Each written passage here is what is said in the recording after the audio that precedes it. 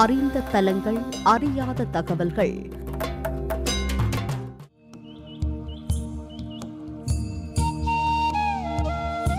ஸ்ரீரங்கத்தில் நடைபெறும் ஆதி பிரம்மோற்சவத்தை அறிவீர்களா? ஆதி பிரம்மோற்சவத்தை ஏற்படுத்தியவர் யார் தெரியுமா? பிரணய கலக உற்சவம் பற்றி கேள்விப்பட்டிருக்கிறீர்களா? ஸ்ரீதேவிக்கு பெருமாள் மீது ஏன் கோபம் கொண்டார்கள்? அவர்களின் கோபத்தை தணித்தது யார் தெரியுமா? இப்படியாக கோயில்கள் சார்ந்த பல்வேறு கேள்விகளுக்கு பதில்களை எடுத்துச் சொல்ல வருகிறது அறிந்த தலங்கள் அறியாத தகவல்கள்.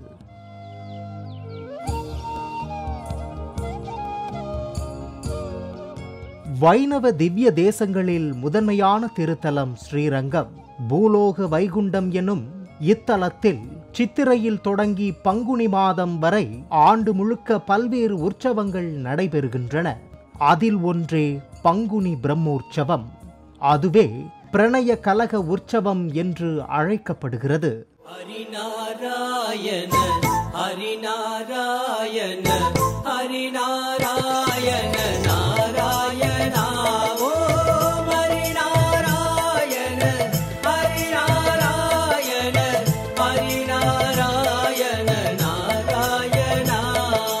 நொந்துடலும் கிழமாகி தளர்ந்த பின் நோயில் நடுங்கிடும் போது ஜீவநாடிகள் ஐந்திடும் போது மனம் என்னிடுமோ தெரியாது தெரியாது தெரியாது. இன்று சிந்தை கசிந்துளை கூவுகிறேன் அருள் செய்திடுவாய் ஹரி நாராயணா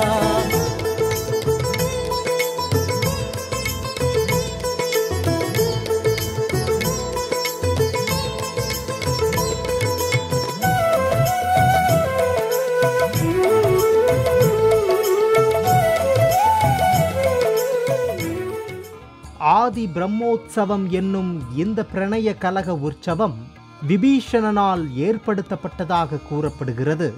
பங்குனி மாதம் உத்திர நட்சத்திரத்தன்று கமலவல்லி நாச்சியாரை திருமணம் செய்து கொண்டு உறையூரிலிருந்து திரும்பி வந்த அரங்கன் ரங்கநாயகியை தரிசிக்க மிகுந்த அன்புடன் சென்றபோது கோபத்துடன் கதவை அடைத்தாளாம் ரங்கநாயகி.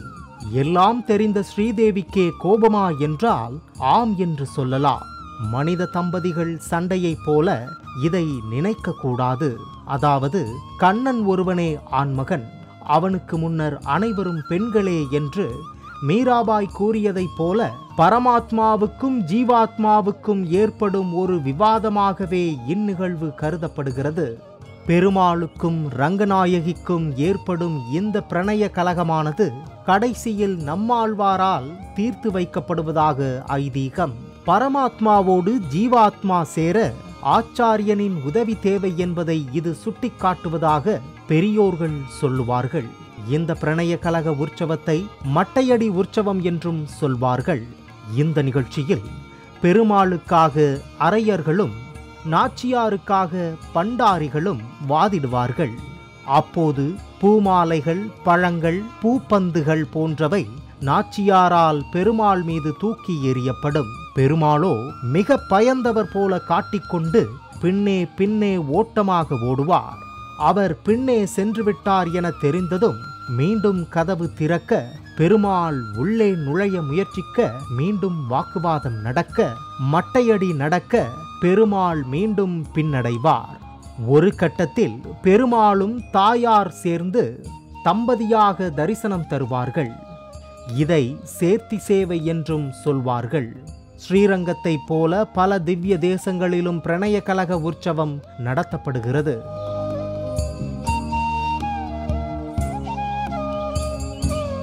திருப்பதி ஏழுமலையான் கோயிலில் பிரணய கலக உற்சவம் வைகுண்ட ஏகாதசிக்கு ஆறாவது நாள் நடத்தப்படுகிறது.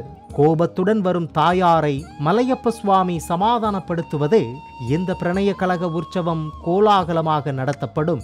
இதையொட்டி ஸ்ரீதேவி பூதேவி தாயார்கள் பல்லக்கில் எழுந்தருளி ஏழுமலையான் கோயில் தெப்பக்குளத்தின் அருகே வராக சுவாமி கோயில் எதிரில் தோன்றுவார்கள். தொடர்ந்து மலையப்ப சுவாமி நான்கு மாட வீதி வழியாக வராக சுவாமி கோயிலுக்கு எதிர் திசையில் வந்தடைந்த போது தாயார்களை சமாதானப்படுத்தும் வகையில் ஜீயர்கள் மற்றும் அர்ச்சகர்கள் இருதரப்பிலும் எதிரெதிர் திசையில் நிற்பார்கள். பின்னர் மலையப்ப சுவாமி தரப்பில் ஜீயர்கள் ஆழ்வார்கள் திவ்ய பிரபந்தம் பாடியும் புராண இதிகாசம் படித்தும் தாயார்களை சமாதானப்படுத்துவர்.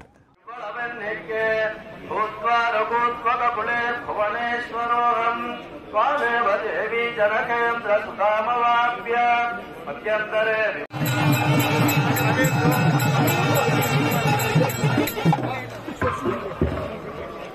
ஸ்ரீதேவி பூதேவி தாயார் தரப்பினர் மூன்று முறை பூப்பந்துகளை மலையப்ப சுவாமி மீது வீசியும் அதிலிருந்து தப்பிக்க மலையப்ப சுவாமி தரப்பினர் பின்னால் செல்லும் சம்பிரதாயமும் நடைபெறும். தாயாரை சமாதானப்படுத்திய பின் ஸ்ரீதேவி பூதேவி தாயார்களுடன் மலையப்ப சுவாமி இணைந்து கோயிலுக்கு வந்தடைவார். அப்போது பக்தர்கள் கோவிந்தா கோவிந்தா கோவிந்தா என பக்தி முழக்கமிட்டு பெருமாளை வணங்குவதை நாம் பார்த்து பரவசமடையலாம்.